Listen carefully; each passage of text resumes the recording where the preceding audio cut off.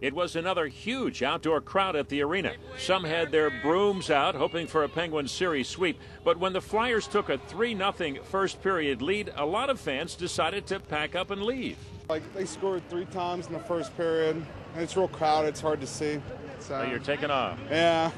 While some were leaving, these Thomas Jefferson High School prom goers were taking a break to make a visit. We had to go somewhere to the promenade after the promenade, and we wanted to come see the Penguins because we love the Penguins. You're all fans? Yeah. Doesn't look too good, though, does it? Oh, no, but it's still early. But as the night got longer, so did the faces of Penguins fans who aren't used to their team losing playoff games this year. And despite a no pun intended late flurry by the Pens, the Flyers won to force a game five, but fans aren't deterred. Very disappointing, but we'll come back Sunday and win. You really think so? Yes, yes. We'll be here Sunday. Yeah, we'll come back and win Sunday. We want to win at home.